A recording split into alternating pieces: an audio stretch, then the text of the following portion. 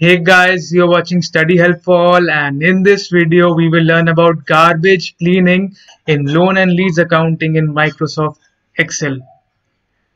Garbage cleaning ज़रूरी क्यों है? उसका क्या यूज़ है? हम एक एग्जांपल से समझेंगे।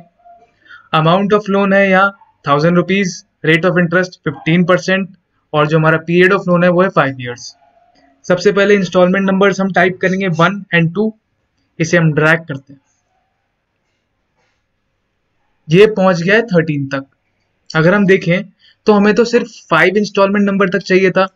सिक्स से लेके थर्टीन है हमारे unwanted values unwanted numbers unwanted data garbage है हमारे इसको हमें क्लीन करना पड़ेगा using functions and formulas in Microsoft Excel अब, इसलिए गार्बेज क्लीन ज़रूरी है।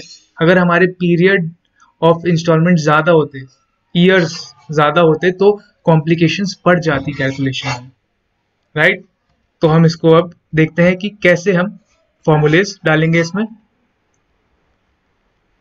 हम यूज़ करेंगे इफ़ फ़ंक्शन को इफ़ जो ऊपर वाला इंस्टॉलमेंट नंबर है is less than five total number of installments इसे हमें फिक्स करना पड़ेगा, हम ड्रैग करेंगे। अगर ऐसा है तो आप क्या करें, जो ऊपर वाला इंस्टॉलमेंट नंबर है, उसमें वन ऐड कर दें ताकि दूसरा वाला इंस्टॉलमेंट नंबर आ जाए।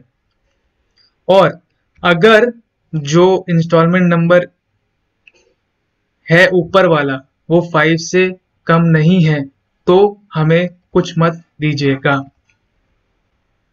राइट इसे हम ड्रैग करेंगे तो ये फाइव तक ही हमें रिज़ल्ट दे रहा है एक्सेल जी। हमारा ओपनिंग बैलेंस क्या है? बी थ्री में वो लिखा हुआ है। अब हमें ओपनिंग बैलेंस में भी गार्बेज क्लीनिंग करनी पड़ेगी। इफ़ क्योंकि जब हम ड्रैग करेंगे तो कहीं ऐसा ना हो कि सिक्स इंस्टॉलमेंट के लिए भी कैलकुलेट करके दे दे, जिसकी हमें रिक्वायरमेंट नहीं है। इफ़ गार्बेज क्लीनिंग के दो तरीके हैं। दोनों करके दिखाऊँगा मैं आपको। इफ़ इंस्टॉलमेंट नंबर वाला जो सेल है, ये एम है। तब हमें एमटी रिज़ल्ट दीजिएगा एक्सेल जी।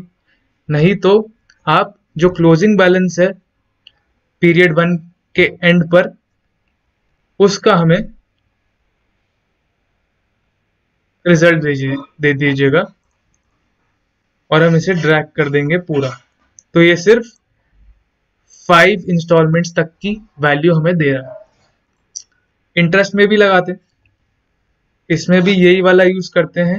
इंस्टॉलमेंट नंबर अगर एमटी है तो हमें एमटी रिज़ल्ट दीजिएगा, वरना आप ओपनिंग बैलेंस पे 15 परसेंट के रेट के हिसाब से इंटरेस्ट निकाल लीजिए, निकाल दीजिएगा और हम इंटरेस्ट रेट फिक्स कर रहे हैं।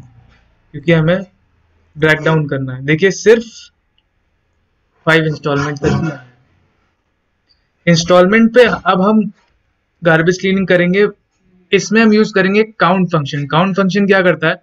वो बताता है कि जो सेलेक्टेड सेल्स हैं, उसके अंदर कितने सेल्स हैं जिसमें न्यूमेरिकल वैल्यूज़ हैं? ओनली न्यूमेरिकल वैल्यूज़ हमने काउंट फ़ंक्शन लगाया। अब क्योंकि इंस्टॉलमेंट नंबर में तो न्यूमेरिकल वैल्यूज़ ही होंगी तो हमने इंस्टॉलमेंट नंबर वाला सेल सेलेक्ट करा।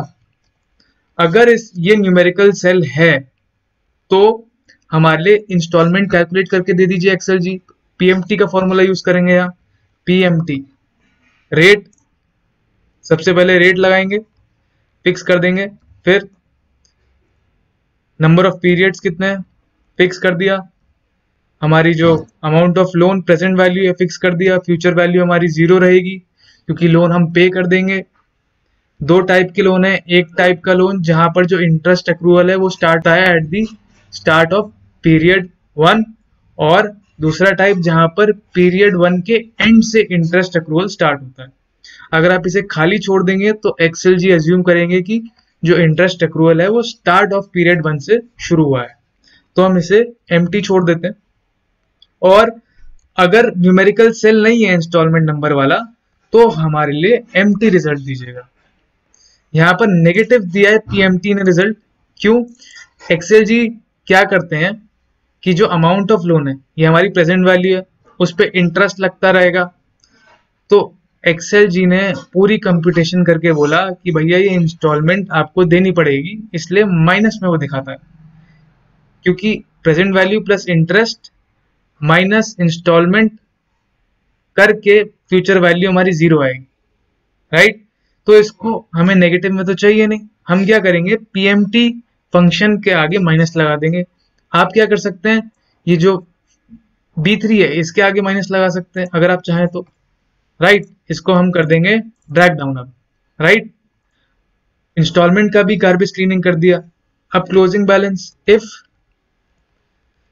count installment number वाले सेल में न्यूमेरिकल वैल्यू है तो हमारे लिए क्लोजिंग बैलेंस निकालिएगा कैसे? Opening balance plus interest minus installment और अगर न्यूमेरिकल वैल्यू नहीं है इंस्टॉलमेंट नंबर में तो एम टी रिज़ल्ट दीजिएगा एक्सेल जी इसको हम कर देंगे ड्रैग तो देखिए, कितनी आसानी से हमने जो भी अनवांटेड वैल्यूज़ थी थ्रू गार्बेज क्लीनिंग हमने एक्सेल में साफ़ कर दी. राइट आपको गार्बेज क्लीनिंग का कंसेप्ट अच्छे समझ आया होगा इस वीडियो के through thank you for watching this video like करिएगा कमेंट करिएगा, कैसी लगी वीडियो और अगर आपने सब्सक्राइब नहीं करा अभी तक तो कर लीजिए। धन्यवाद।